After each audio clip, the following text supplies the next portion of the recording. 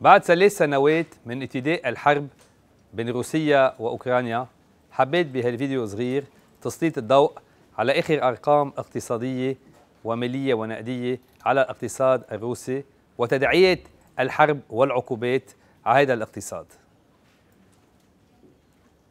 بعد ثلاث سنوات من ابتداء الحرب بين روسيا وأوكرانيا إذا بنركز على آخر أرقام اقتصادية ومالية ونقدية على الاقتصاد الروسي من بعد فرض عقوبات من أصعب عقوبات مالية ونقدية على الشعب الروسي والاقتصاد الروسي نتفاجأ ونقرأ أنه اليوم النمو المتوقع لأول ست أشهر من سنة 2024 متوقع أن يكون بين 5 و 5.4%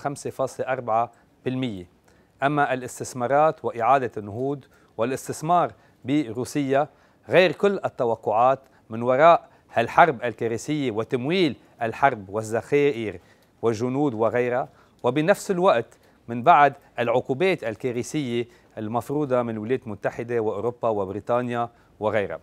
والسؤال الكبير اللي بيطرح نفسه هو كيف قدر هالاقتصاد الروسي من وراء هالعقوبات الكبيرة يقدر ينمى ويواجه العقوبات وشو بنتعلم من الحرب ومن العقوبات. أول شيء حسب الصندوق النقد الدولي والبنك الدولي تغير تصنيف روسيا من تصنيف من داخل منخفض إلى تصنيف مع داخل عالي. وهذا تغيير مفاجئ جدا بسنة ال 24 وقتها العالم ككل عم بيواجه ركود اقتصادي والولايات المتحدة بالأخص وصلت إلى دين أكثر من 35 تريليون. أما الركود والتراجع الاقتصادي لأوروبا كارثة وخايفين من تداعيات بسنة 2024 و25 الهدف الأول واللي قدرت اليوم روسيا تقدر تواجهه هي بنية علاقات كثير كبيرة أول شيء مع بلدان البريكس. اللي هن برازيل روسيا طبعا الهند وجنوب أفريقيا.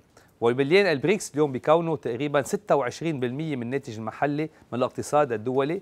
واليوم التضامن اللي صار اقتصاديا والتبادل التجاري قدر اليوم ساعد روسيا إلى مش فقط المواجهة لكن إعادة النهوض. النقطة الثانية ركزت روسيا على استثمارات داخلية استثمارات داخلية باقتصادها وخاصة بالشق الصناعي والزراعي وغيرها.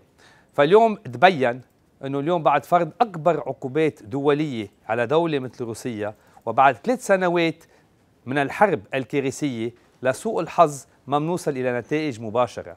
هيدا يعني إذا طلعنا من ثلاث سنوات لليوم بنشوف إنه ما تكون شيء من الأهداف بل العالم ككل والاقتصادات عم يدفعوا ثمن باهظ جدا من هالحرب أكيد ماليا اقتصاديا طبعا بالأرواح وبالتدمير. هذا يعني اليوم برهنت روسيا أنه قدرت واجهت أكبر عقوبات دولية قدرت برهنت بنمو فوق ال 5% بعد ثلاث سنوات وعم شدد من العقوبات الكارثية والحرب الدموية قدر واجهت كل اقتصادات العالم وهذا يعني الحل الوحيد ليس بالحرب ولا بالعقوبات لا بل بالتفاوض وبطاولة مفاوضات لننهي مش بس حرب بين روسيا وأوكرانيا لكن كل حروب المنطقة لأنه اليوم بهالحروب ما عاد في ولا غالب ولا مغلوب وما لا يفرض أي عقوبات على دول عظمى وشكرا.